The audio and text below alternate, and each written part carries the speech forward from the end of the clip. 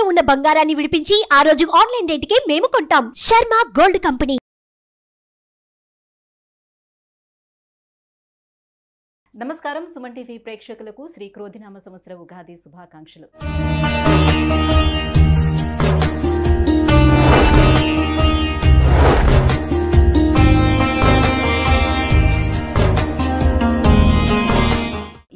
క్రోధినామ సంవత్సరం ద్వాదశ రాశుల వారికి ఎలా ఉండబోతుంది?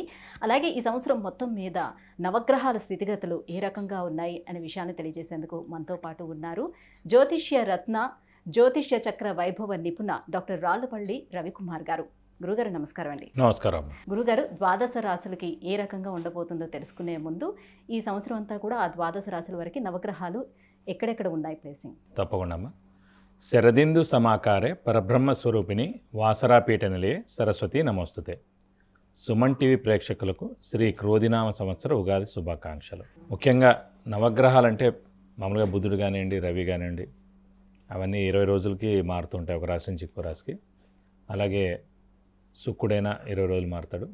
కుజుడు నలభై ఐదు రోజులు రవి నెలనాడు కాబట్టి ముఖ్యంగా మనం తీసుకోవాల్సిన గ్రహాలు మటుకు నాలుగండి. ఒకటేమో గురు సంవత్సర కాలం అక్కడే ఉంటారు కాబట్టి. రాహుకేతులు ఏడార్థానికి ఒకసారి మారుతారు కాబట్టి.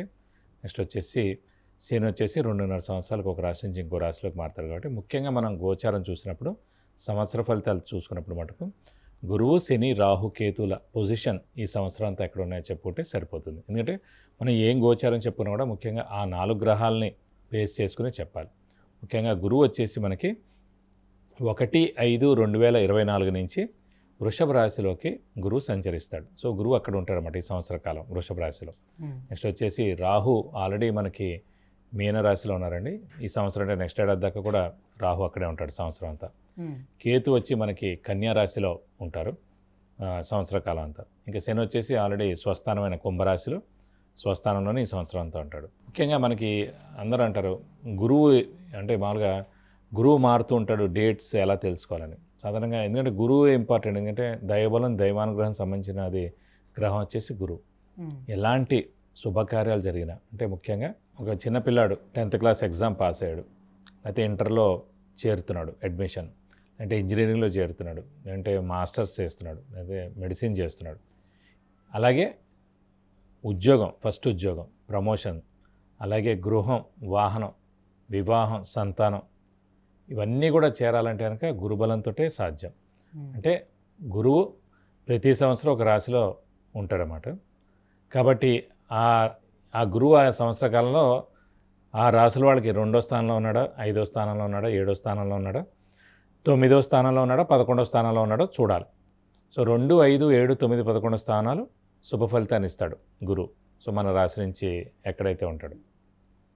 కాబట్టి ఆ గురువు అనేవాడు ఎప్పుడు మారుతాడని ఎలా తెలుసుకోవచ్చు అంటే పుష్కరాలు ఎప్పుడైతే స్టార్ట్ అవుతాయో ఆ రోజు నుంచి మనకి గురువు వేరే రాశిలోకి మారినట్టమాట. సో ఈ సంవత్సరం నర్మదా నది పుష్కరాలు స్టార్ట్ అవుతున్నాయి. అది కూడా ఫస్ట్ మే నుంచి స్టార్ట్ అవుతున్నాయి. కాబట్టి ఫస్ట్ మే నుంచి గురు వృషభ రాశిలోకి ప్రవేశించి సంవత్సర కాలం అంతా అక్కడ ఉంటాడు.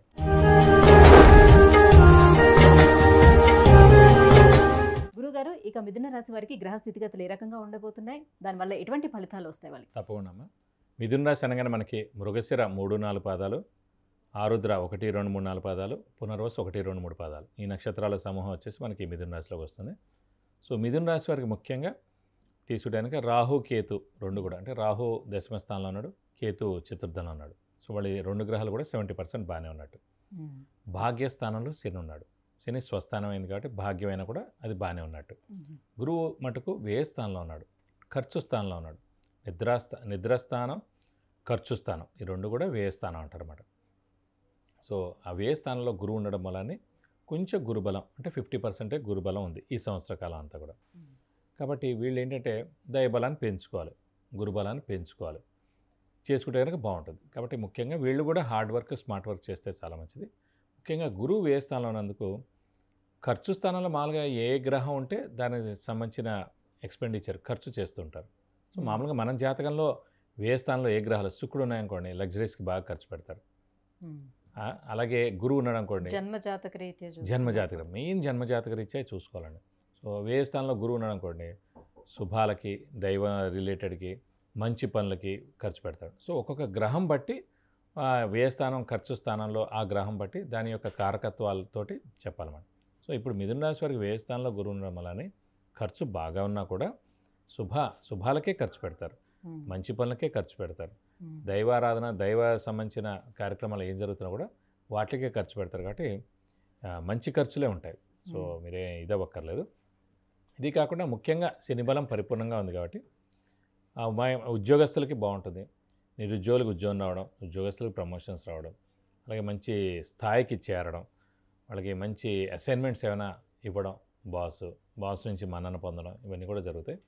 అలాగే ముఖ్యంగా వీళ్ళ ఆరోగ్యం ఆయుష్ కూడా వాళ్ళ ఇంట్లో వాళ్ళది కానీ వాళ్ళది కూడా చాలా బాగుంటాయి.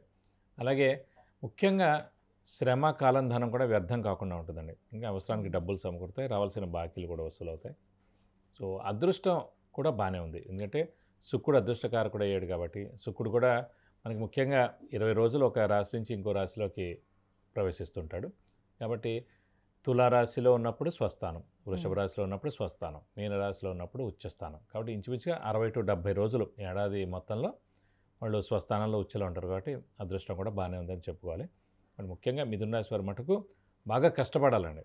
ఎందుకంటే కొంచెం దయబలం తక్కువగా ఎప్పుడైతే గుర్తుపెట్టుకోండి దయబలం లేదంటే గురుబలం తక్కువగా ఉంటుందో? హార్డ్ వర్క్ అనేది చేయడం తక్కువగా చేస్తారు. అంటే ఆ దయబలం బాగా ఉన్నప్పుడు ఆటోమేటిక్గా హార్డ్ వర్క్ చేయడం ద్వారా పనులన్నీ జరుగుతాయండి. శుభాలన్నీ జరుగుతాయి.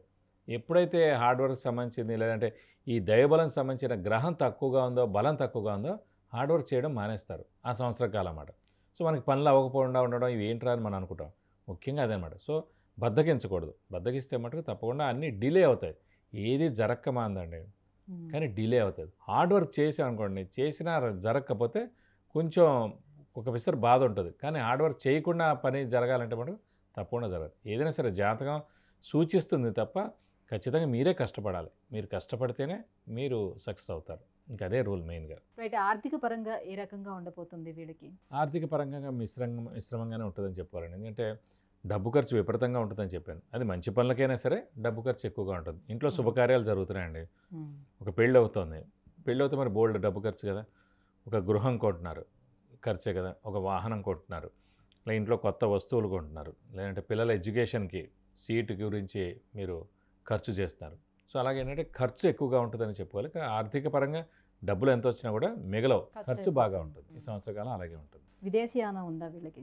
విదేశీయానం తప్పకుండా ప్రయత్నించవచ్చండి. ఎందుకంటే శనిబలం పరిపూర్ణంగా ఉంది కాబట్టి ఖచ్చితంగా ప్రయత్నిస్తే హండ్రెడ్ పర్సెంట్ వెళ్ళేందుకు అవకాశాలు ఎక్కువగా ఉన్నాయి. మరి ఇంకా ఎటువంటి పరిహారాలను పాటించుకుంటే మరింత యోగ్యదాయకంగా ఉంటుంది? పోనండి. ముఖ్యంగా ఇందాక వృషభ రాశి వారికి ఎలా చెప్పుకున్నాం గురు బలం తక్కువగా ఉందని. సో మిథున రాశి వారికి కూడా గురు బలం తక్కువగా ఉంది కాబట్టి వీరు కూడా సేమ్ అంటే దత్తాత్రేయ స్వామిని ఎక్కువగా పూజించడం ప్రతిరోజు దత్తాత్రేయ స్వామి అష్టోత్తరం చదువుకోవడం అలాగే ప్రతి గురువారం ఉపవాసం ఉండడం ఈ సంవత్సరం కాలం. అలాగే దత్తాత్రేయ స్వామి టెంపుల్స్కి వెళ్ళి నలభై ఒక్క ప్రదక్షిణాలు గురువారం రోజు చేస్తే మంచిది. అలాగే ఆయన దత్త క్షేత్రాలు ఎక్కడైతే ఉన్నాయో ఈ సంవత్సర కాలంలో ఎప్పుడైనా వాళ్ళని దర్శిస్తే కూడా చాలా మంచిది. ఇంకా తక్కువగా అనిపిస్తే కొంచెం పనులు జరగకపోతే కూడా ఖచ్చితంగా గురువుకి పదహారు వేల సార్లు జపం చేయించి శనగపప్పు కేజీంపో ఒక yellow lungi thousand rupees worth gold item దానం ఇస్తే కనుక దోషం మొత్తం ఏమన్నా కూడా అన్నీ తొలగిపోతాయి. ఎప్పటి వరకు గురువు పన్నెండో స్థానం వరకు మనకి నెక్స్ట్. మే దాకా అండి ఇప్పుడు ఫస్ట్ మే నుంచి స్టార్ట్ అవుతుంది.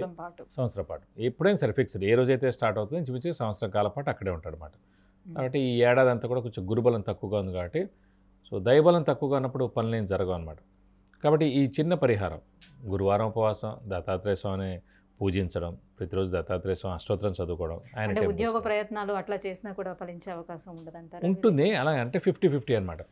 బాగా కష్టపడితే కానీ అవ్వదు. అలా అనమాట సో ఈ దైవబలం పెంచుకోవడానికి తప్పకుండా మనం అనుకున్న పనులన్నీ తప్పకుండా నెరవేరుతాయి. గురుగారు మిథున రాశి వారికి ఈ క్రోధినామ సంవత్సరం ఎలా ఉండబోతుంది ఏంటనే విషయాన్ని తెలియజేసినందుకు ధన్యవాదాలండి. నమస్కారం